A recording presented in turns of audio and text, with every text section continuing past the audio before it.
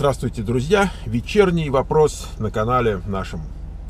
Я выиграл грин-карт в лотерею DV 2017. Меня зовут Ярослав, живу в Украине в небольшом городке, работаю в фото-видеостудии.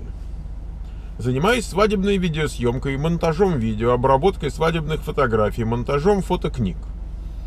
Английский на среднем уровне, но активно продолжаю изучать, смотрю американские сериалы, телеканалы, слушаю радиостанции на английском. Есть большое желание уехать в США. Проблема в том, что на переезд у меня очень мало денег. Это единственная, какая проблема интересная. Родственников или друзей в США нет. Планирую ехать один. Так, решения на работу нет, значит, ничего, вообще никого, один. Оказывается, в деньгах проблема. Денег по приезду будет примерно около 1000 долларов. Траты на медкомиссию, интервью в посольстве, билет на самолет я сюда не включаю. Значит, где-то он потратился, 1000 долларов осталось, полетел. Городок у нас очень маленький, зарплаты невысокие, работы мало. Поэтому большую сумму собрать вряд ли получится. Так вот, реально ли начинать иммиграцию, если по приезду в США – будет 1000 долларов в кармане.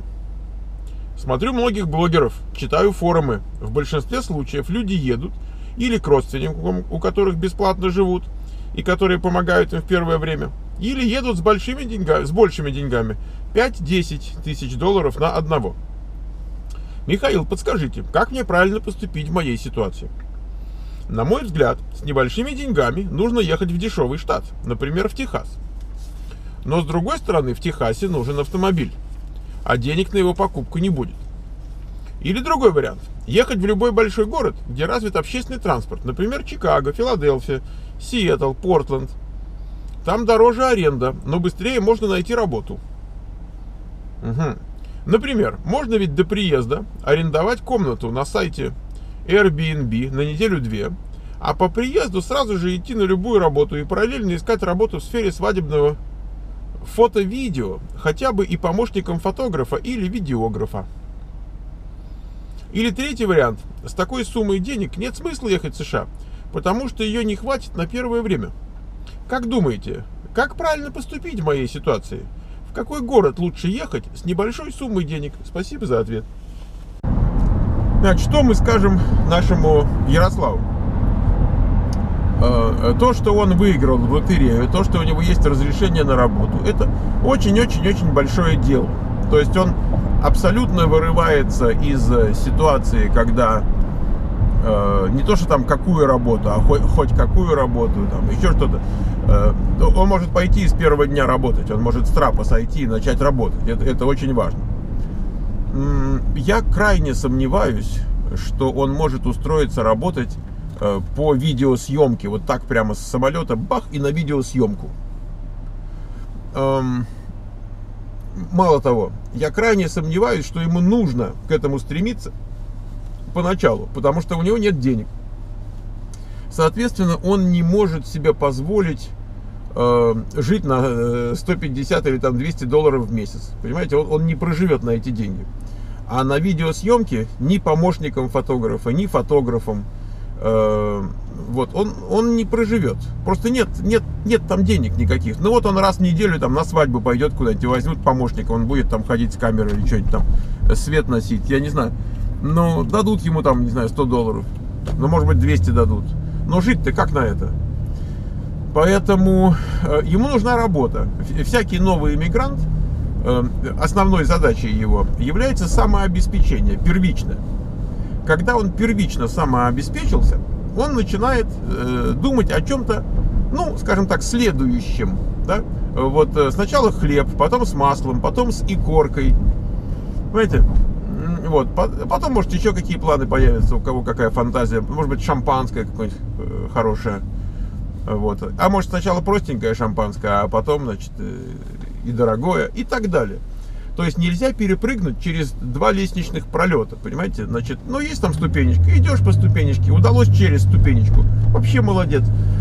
Эм, тем более денег нету, соответственно, у него нет, нет ресурсов на ошибки, э, исправление ошибок и так далее. Он должен сразу начать работать. Эм, с точки зрения того, что денег у него ну просто вообще нет фактически, ни на что.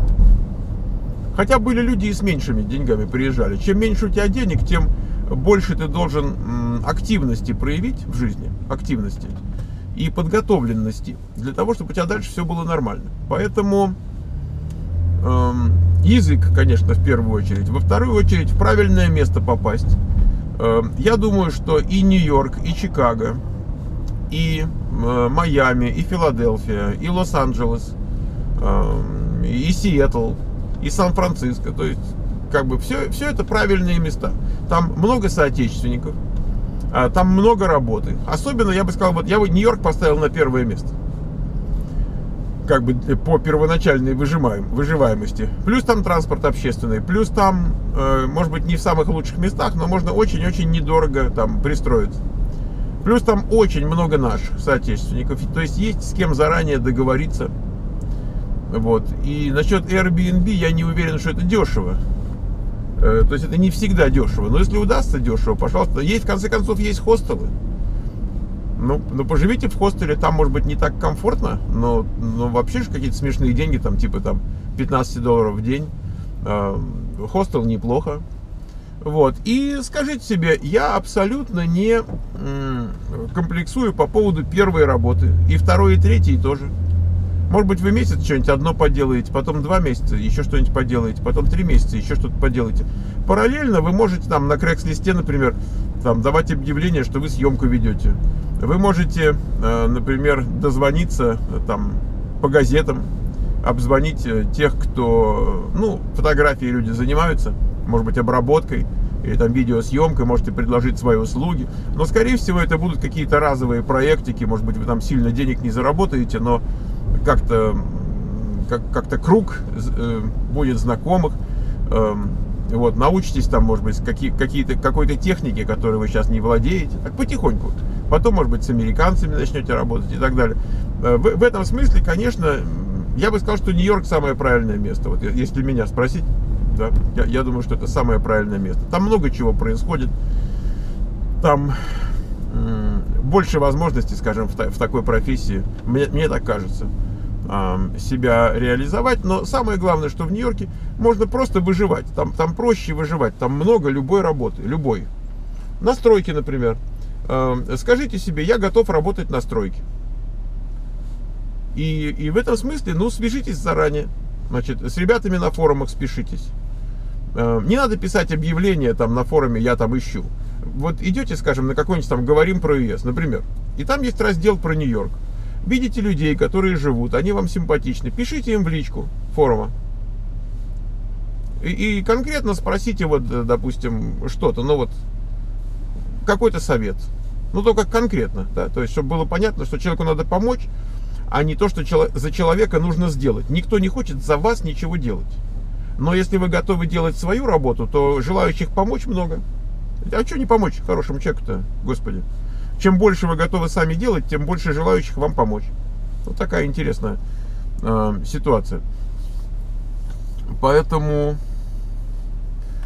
господи, когда у тебя, когда у тебя грин-карта есть, люди нелегально приезжают, вот туристич, по туристической визе у него там 100 долларов в кармане, и тоже ничего, и тоже они выживают, и тоже как-то они устраиваются, но может быть там где-нибудь на вокзале там поночуют несколько дней. Но, но тем не менее, понимаете? Поэтому чем меньше у тебя с собой есть, тем больше ты мотивирован, тем шустрее ты себя ведешь, значит, тем э, скорее ты куда-то устроишься. Вот, собственно, и все. То есть, то, что у вас нет много денег, оно неплохо. На самом деле. Э, на самом деле. То есть у вас будет меньше оснований считать, что вы в порядке, и вам спешить некуда, и там можете пошиковать или там э, какие-то лишние расходы на свою голову. Не надо, вот экономите каждый центик. У вас их не так много центиков лишних-то. Вот, и, и все. Но самое главное это найти какую-то возможность вот пристроиться еще до того, как вы приехали. Есть форумы городские, там в том же Нью-Йорке, русскоязычные. Есть группы очень большие на большие группы на Одноклассниках, в ВКонтакте, в Фейсбуке. Громадные русскоязычные группы, там, там много, много тысяч людей. Я так понимаю, что если группы, которые, скажем, сан-франциские, там по 4, 5, 6 тысяч, да, то в Нью-Йорке это может быть и 10, и 15, и 20. Я никогда не смотрел, но я предполагаю. Поэтому вот скажите себе Нью-Йорк, так, скажите себе любая работа, но неплохо бы к любой работе какой-то списочек. Э, если вы не можете сразу определиться, ну, скажите себе, я ищу список того, чего можно делать. С грин-картой, может быть, вы можете ухаживать за там, пожилым мужчиной, например, с проживанием вы можете сразу приехать, у вас сразу будет где поселиться, например, и, и, и так далее. То есть это может быть тяжелая работа, но зато вы э, при деле учите язык потихонечку, там разбираетесь, осваиваете, а все, а, а все уже работа, а это востребовано. По уходу работать востребовано. Вот определитесь там, 2, 3, 4 там профессии, по которым вы готовы работать. Стройка шикарно востребована. С первого дня там можно выходить. Хотя, не знаю, в Нью-Йорке, может быть, есть строительный сезон, там не знаю. Но, но в любом случае ремонтные работы круглый год идут. Все, что под крышей, э, даже зимой работает. Так что вот я бы так сказал. Счастливо!